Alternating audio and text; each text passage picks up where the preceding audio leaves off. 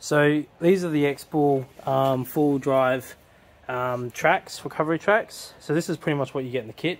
So they come to you um, with two boxes. So I, it's 100 at the moment they're on special for 160 for two, uh, two pairs, and um, I got 10% off as well by signing up for the first time. Um, I've seen the reviews on them, and a lot of people uh, do knock them.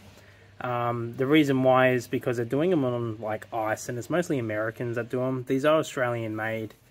Um, well, they claim they're Australian made anyway. they might just be um, sort of assembled or distributed in Australia. I'm not too sure. Um, I really don't really know much about this company whatsoever. But the price point, I mean, 160, and this is the version 3 of their recovery tracks, is pretty good. And what you get is you get your two pairs of recovery tracks. You get this nice little holder. You get straps. This this comes in each, so one of these, one of those, and then one of those. So it comes with stickers, which I am going to put on the canopy just because my canopy's, um, well, it has nothing on it, and I just want to make it sort of mine. And the catalogue. These straps are for um, tying into the to the um, recovery boards and then that way you can pull them out of the sand. Um, and these are just like carry handles. I don't like carrying them like that. I found that if you move the strap to the top and carry them that way it's a lot easier. There's a few things I've sort of some weaknesses I don't like in them these handles here are quite sharp. What are you doing? Dog's just mucking around there the um, corners here are quite sharp, so you've got to be careful with them. Um, over time, I, I, suspect it will wear down, especially when you're getting it in the sand and whatnot. Um, the length of them is pretty good for a basically a knockoff Maxtrax.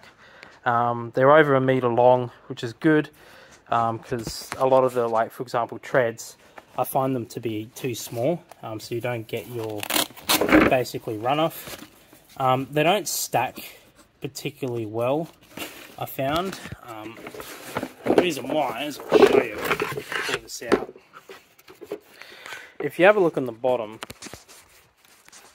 particularly when I do that, it's hard to see it, but see how much the um, the tread on the bottom sticks out, the traction knobs. Um, so they don't really stack great. Um, as you can see, you've got these two stacked up like that.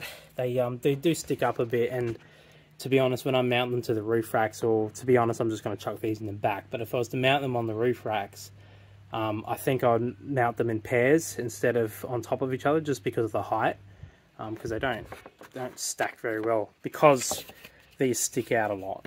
Um, where other boards they are a lot they sit in more and they're kind of designed to stack better where these aren't really the best at stacking um, you have a shovel on each end, which is good, so you're not limited. And it's also good as well because they are ramped on both ends, so it doesn't really matter which direction you stick it in. Um, it has very deep valleys in it as well, which um, which is, I guess, a little bit handy um, for whatever reason. Maybe easy to clean it. Um, the traction on them, probably not the best. I could see that these melt pretty easily, to be honest. Um, they're very smooth. They're not really rugged like the Maxtrax are. These are really good though. These um, these little grip points. I actually like that they have them on both ends. So when you do your initial drive up on them, your tire's gonna really grip onto that, which is good.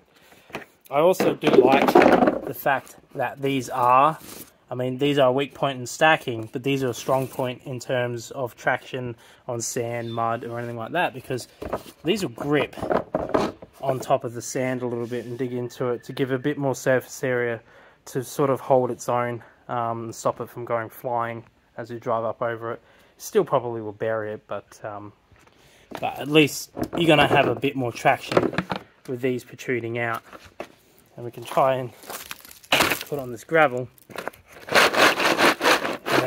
and it does offer some sort of resistance as I'm pulling it is you know offering a little bit of resistance and you can see it's pulling the gravel down which is good so um, would I recommend buying these? Just on face value, I can't see the money value side of it. I mean, usually the cheaper brands, it's $160 for one pair and you get four, which is very handy, which means you can have one per, um, one per tire, which I think is really good. Um, so as you can see here, they do they do stack, but they just stack really high. Um, just the grooves do fit in these, as you can see, they do fit in these wells. So they do match up, but they just stick up a lot more than say Maxtrax do. Maxtrax fit a lot more uh, flush than these. So um, yeah, I think just for the amount of money they cost um, and what you get in it, it's a pretty good deal. There's also some deals where you can get just a single pair and also comes with mounting brackets and all this stuff as well.